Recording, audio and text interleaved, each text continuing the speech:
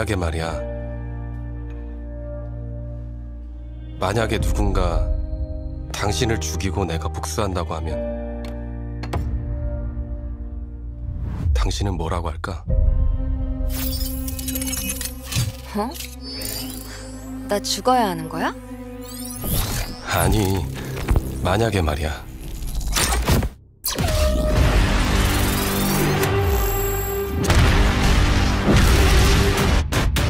Alright, at number one, and this has actually been a long time coming to be quite frank, NCSoft, the Korean developers, finally came out and released another trailer for what we came to know by the name Project M. Actually, what is described by the company as a dramatic thriller about a guy getting revenge on his lover's death. This is Unreal Engine 5, in case you're wondering, seems to be taking quite a bit of inspiration from Heavy Rain, and a release date for it is still yet to be announced.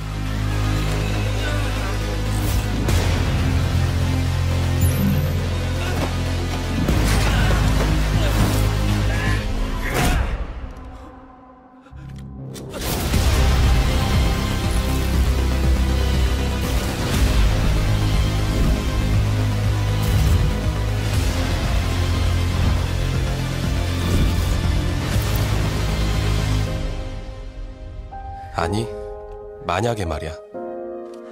그럼 내가 복수해줄까? 아니. 아니야? 어, 하지 마. 난 이미 죽었다며. 그럼 차라리 우리 딸을 위해 더 열심히 살아줘. 위험한 데는 근처도 가지 말고. 그래줄 수 있지?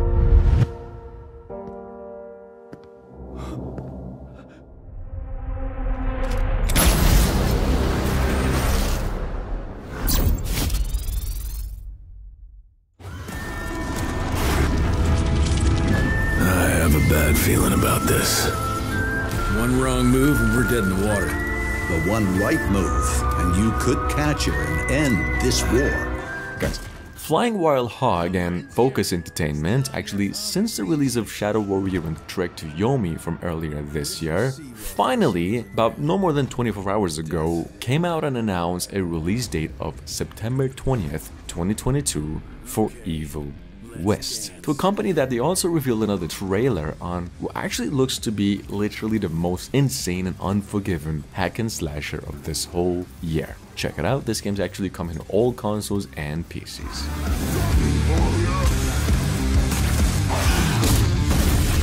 Yeah, that was predictable.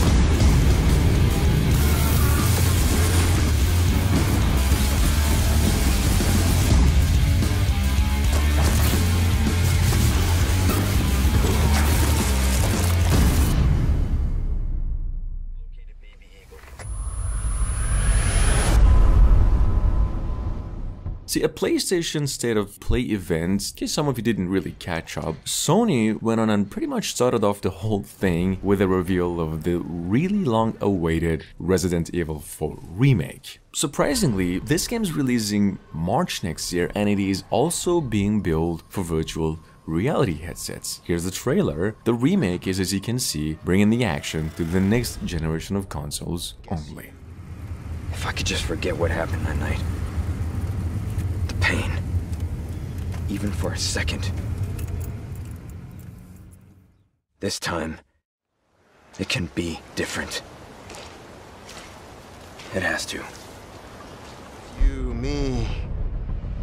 Picked the wrong spot to vacation, eh?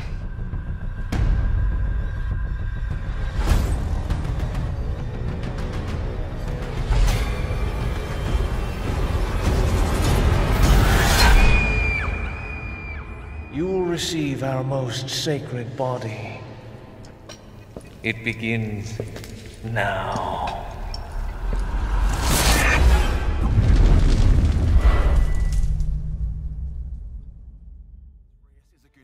Yeah, and I'll put arrows through both of us.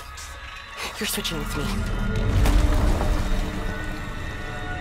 It's a snap maw. We're not gonna make it.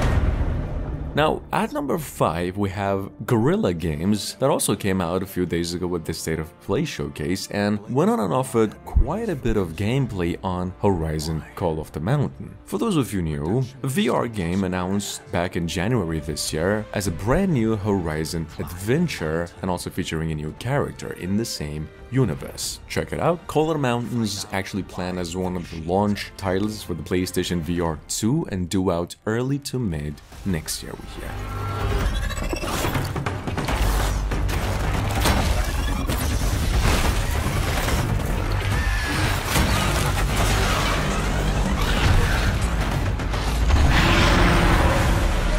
Do that, and you shall be a free man.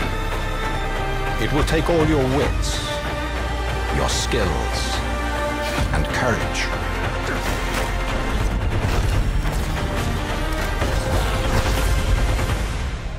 You have walked in the shadows, Ryas. Now it is time to climb.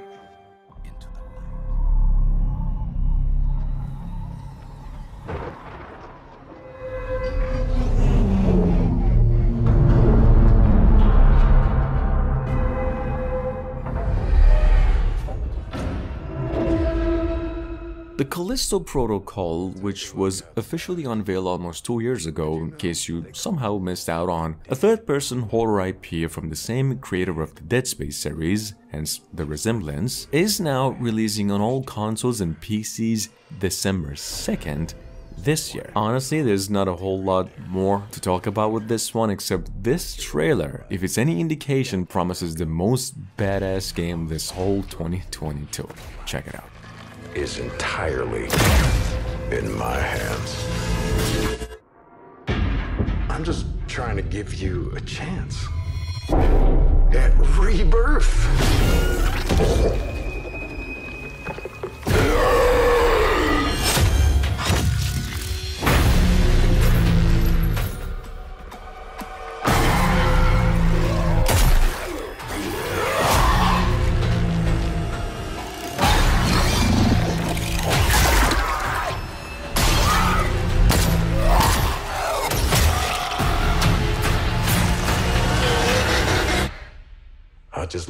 love that last part.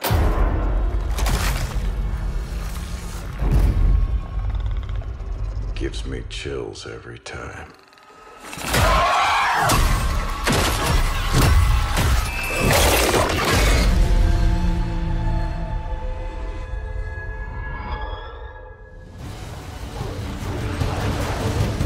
Odin's got tricks up his sleeve we haven't dared to consider.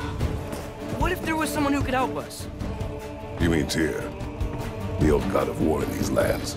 Talk about hype though. At number 7, it's the old God of War Ragnarok. Well, technically the continuation of the Father-Son series of literally the best-selling PlayStation 4 game for the past few years. I've actually mentioned this one quite a bit, but once again, just in case you didn't catch up, God of War Ragnarok is coming to the PlayStation 4 and 5 late this year, and possibly to out around holidays, so keep it in mind. Is not the only way. Stop thinking like a father for a moment and start thinking like a general. No! You seem like a calm and reasonable person. Are you a calm and reasonable person?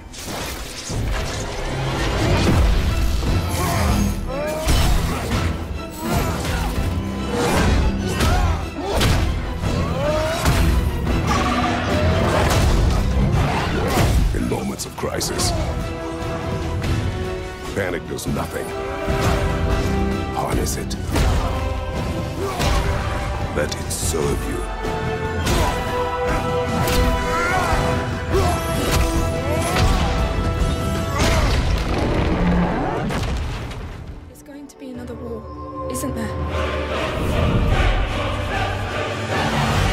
Day we delay brings us closer to disaster. We must move now.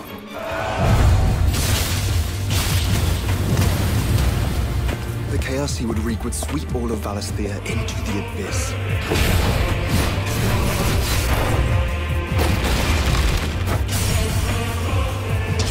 In case you somehow missed it, Square Enix also finally released a new trailer for Final Fantasy XVI that was in addition to a release window of summer 2023 and supposedly the game is coming to the PlayStation 5 and PCs only, seeming to be some sort of a timed exclusive. Final Fantasy XVI is, as you can see, a single-player focused action RPG, like a lot of previous entries in the series, and this is how it actually looks like.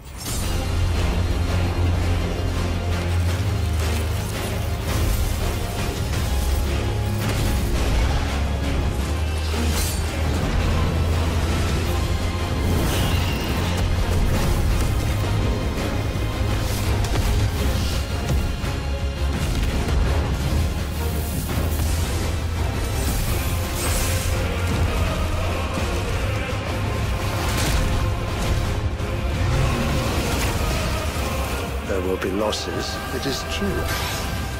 Yet for every citizen who falls, another can be bred.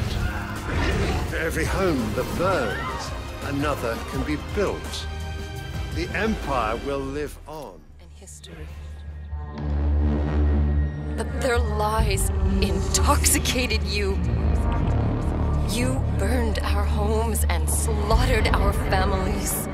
On the other hand, we have by the same publishers of the new Lord of the Ring game, Gollum, Steel Rising, and a bunch of other good games in development, a pretty new game from only a month ago going by the name Hell is Us. But what technically speaking looks to be a time-traveling third-person action-adventure IP, and one pretty much being built using Unreal Engine 5 we hear. This is the trailer, this game set to be coming to PCs in the next generation of consoles only sometime next year.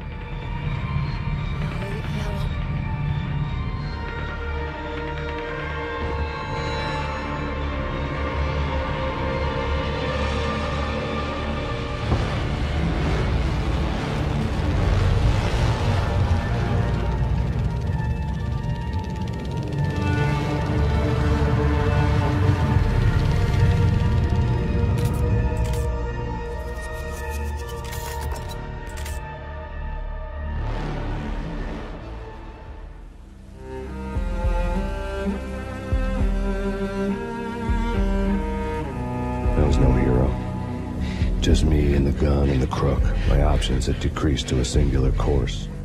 Remedy Entertainment also just came out with an update on the previously announced Max Payne 1 and 2 remasters or well, remakes? Probably remakes. Well, not really sure, but they said Max Payne 1 and 2 probably won't be released anytime soon. Just in case you didn't know, these games are being developed in partnership with Rockstar Games. Other than that, all we know is that these games are being released into next generation of consoles only and possibly 2024. I took my time cruising around the city in the snow.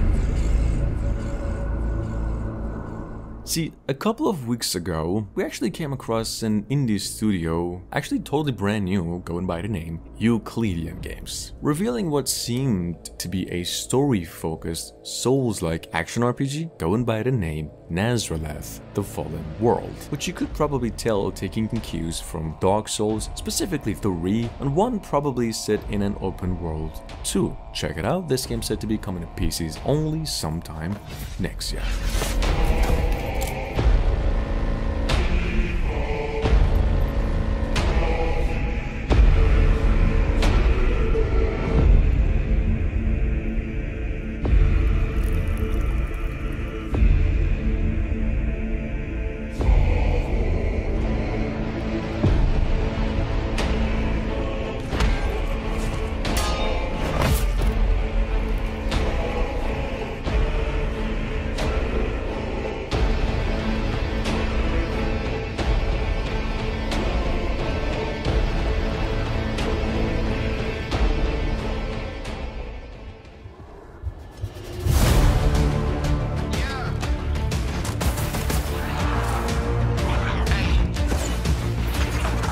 On the other hand, we have Forspoken, which is scheduled to be released on the PlayStation 5 and PCs October 11 this year. The game, for those of you new, is an open world action RPG adventure, apparently a single player only, coming from Square Enix and also the same team behind Final Fantasy 15, hence all the fast-paced resemblance in combat and movements. Check it out, this game is coming to the PlayStation 5 and PCs, and it'll be time-limited PlayStation exclusive for almost two years.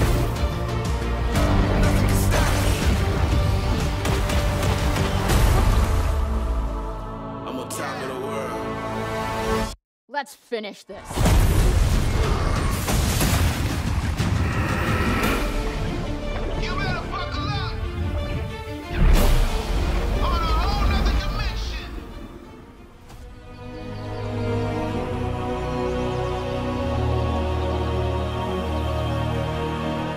Nacon and, well, the kind of well-known developers y'all know by Spiders, a couple weeks ago finally announced the latest game we've been waiting to hear more about, going by the name Greedfall 2, The Dying World. This is actually a prequel to the previous Greedfall game. It is releasing for all consoles and PCs in 2024 and will, to accompany the news, they only came up with a cinematic trailer. Take a look.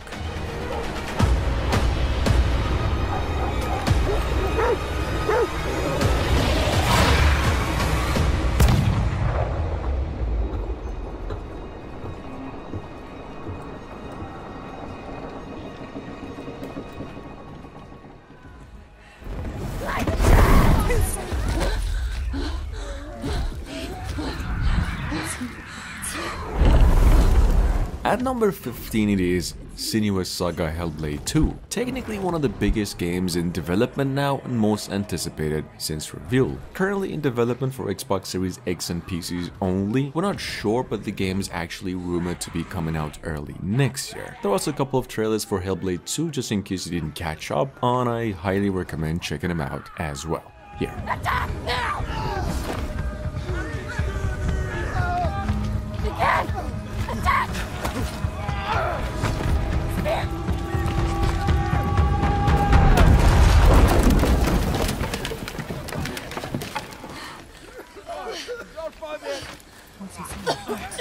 Help me!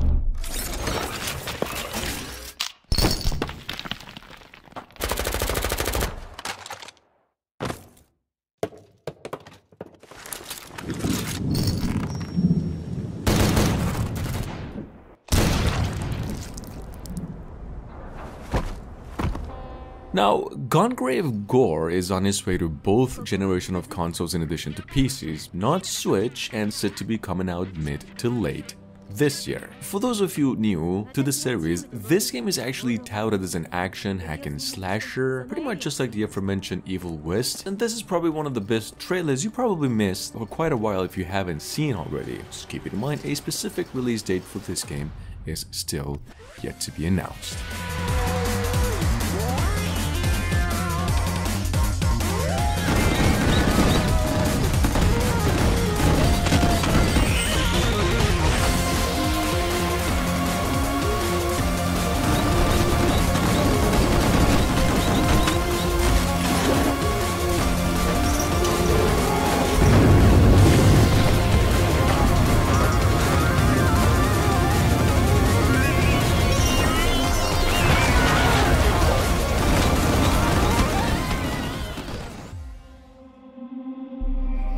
Want to create uh, any third person shooter. We wanted to create a game that embodied the galactic warfare that you, you come to know uh, from this, this franchise. It is a passion piece for all of the people working at Saber. Now, after revealing the game with only a CGI trailer back in December last year, Saber Interactive well finally came out with another trailer on Warhammer 40k Space Marine 2. Actually, not much to talk about, it's a pretty slight update. We do know the new game is a next generation console game only and coming to PCs, PlayStation 5 and Xbox Series X sometime next year. Check it out in case you missed it. Meters tall, and um, it's pretty amazing. Most human beings in this world will never see a space marine. They're, they're the stuff of legends. They're known as the angels of death. Here's angels. When one appears on the battlefield, it's like seeing an angel of God. Well, Titus, uh, you know, he's been there, done that, seen more than all the other Ultramarines. He's an apex predator. Yeah, everything he does with purpose, everything with intention, everything with extreme power. People who've read the books will have expectations about how Space Marines fight, and so that's been our guiding principle behind uh, the gameplay that we created. One of my favorite parts of uh, the trailer release at the Game Awards was watching the feedback that people gave afterwards. And I saw all this excitement over just a tiny few snippets of gameplay, and I just kept thinking, wait till you see what we got for you. Wait till you see what's next. We're creating huge worlds. We really want to encourage uh, exploration above ground, below ground, to peaks, in castles. There's always something hidden, and we we want to reward those players.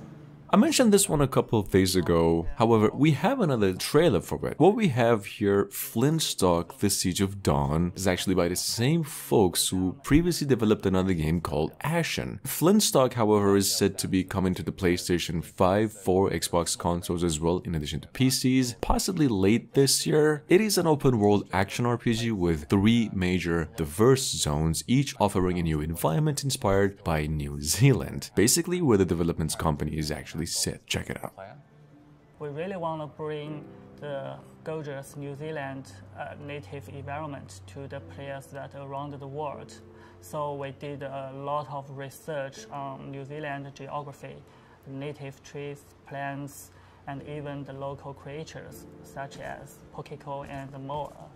It's been a, a fun journey, like even looking at uh, our main character as an example, has gone through so many revisions and now we finally have our North. We always want to be on the pulse of what. Curiosity drives us forward, leading us to explore the known and challenge the unknown.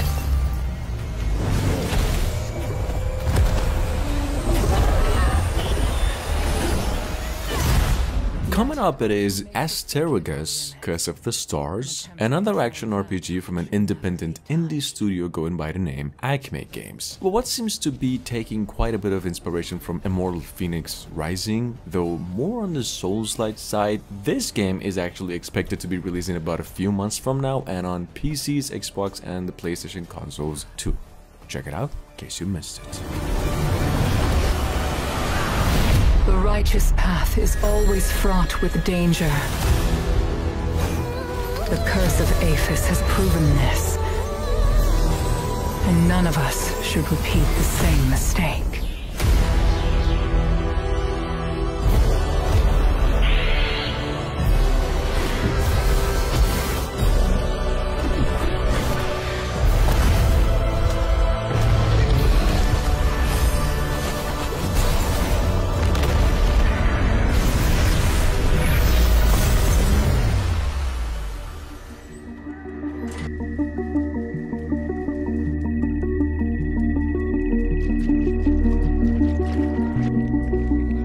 Last but not least, actually Annapurna Interactive just a few days ago, back at the Sony State of Play, after quite a handful of delays, finally came out with the release date of a game called Stray. Said it is now coming to PCs and the PlayStation consoles only July 19th. Here's another trailer. Stray, in case you aren't familiar with, is an adventure game about living the life of a cat in a distant future world where only robots have made it out alive on Earth.